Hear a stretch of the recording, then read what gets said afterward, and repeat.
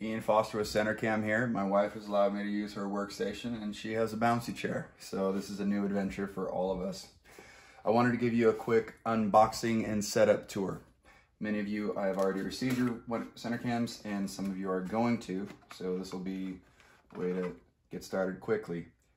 Clip, camera, simple packaging, it's all recyclable.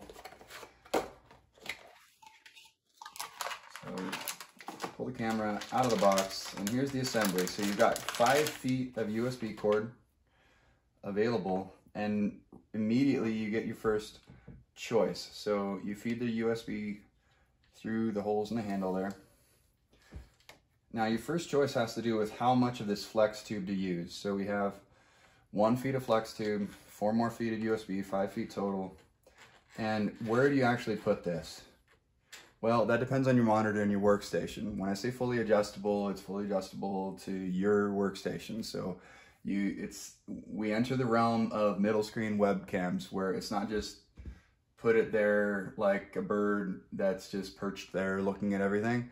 We actually have to make choices with center cam. So I look at this screen and if I can imagine a grid one third there, one third there, one third there, one third there. That's photography, it's rule of thirds. Generally, I want my center cam to get about there, end up about there. Um, now, it can go down there, and that just depends on what my video conference is going to look like. Right now, my video conference is a video conference of one with me, myself, and I.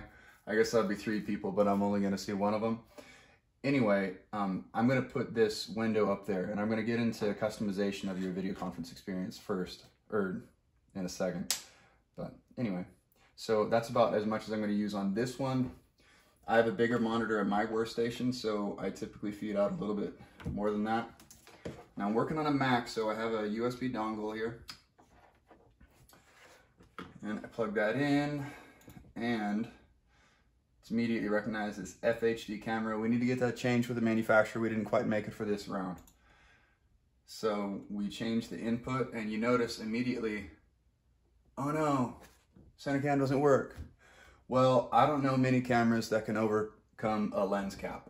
So this is just a compression cap. We put it on, take it off, and boom. And if you did that, it happens to the best of us. I've done that many times with a regular camera and I've even done it with center cam. So now this is our video conference experience. The second thing that can get you going really fast is that there's two ways to adjust the center cam. One is the actual hardware and then the other one is the, the window of whatever app we're using. So if I wanted to adjust hardware, simple. Usually requires two hands.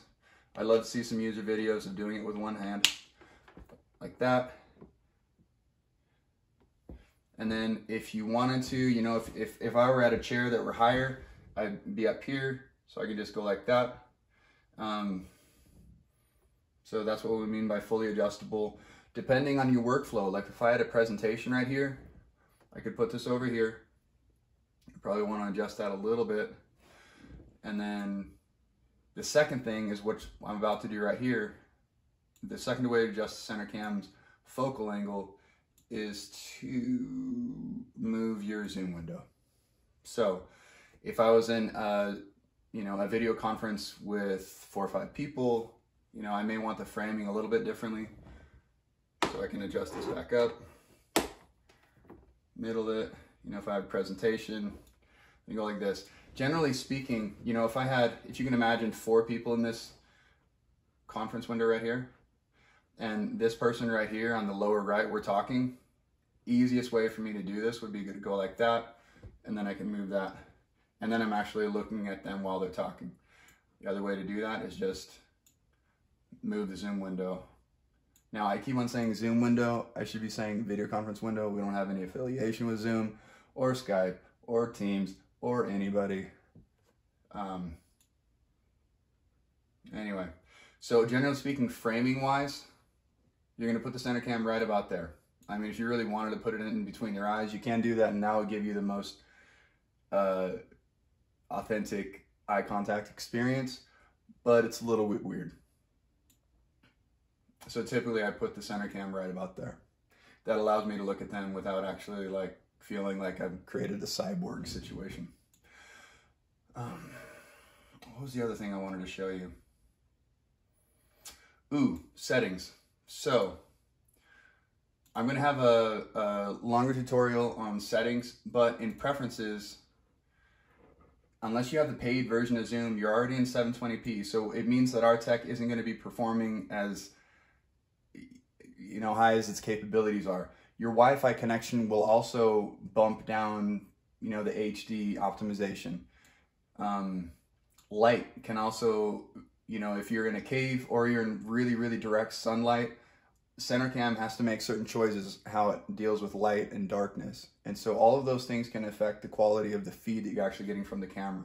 Those are all computer, room, lighting um, issues. And so I wanted to set you guys up. I have, you know, daylight conditions here. Um, but if you go to video in your settings menu, this is for Zoom, but pretty much every um, video conference software has this capability. You see here, I've clicked HD. You can unclick HD. It changed the framing a little bit. And it also changes, you see, this is just standard def. And so all of a sudden it's a little bit softer, a little more pixelated. If I were full screen, you can see that feed is different than that feed in full screen. So this is especially important for content creators you know, if you're going to be using CenterCam as your input for like reading a center, uh, teleprompter or something like that, um, the settings menu, you're going to have to do some work there. Um, what are some other options? So touch up my appearance. Yes, please. I'm a little bit softer. All of a sudden, I'm five years younger. Well done. Zoom. Um, now I look like a filter. I look like a dreamy filter. Anyway, most video conferences have this option, um, and there's a lot that can be done in in the settings menu of you know Zoom, uh, Skype, Teams, things like that. You're more limited on Mac than you are on PC. PC has a lot more built-in controls um, for the video conference softwares than Mac does and in a future tutorial that is going to drop here in like two minutes, um, I'll show you how you can get around some of those lighting issues on a Mac.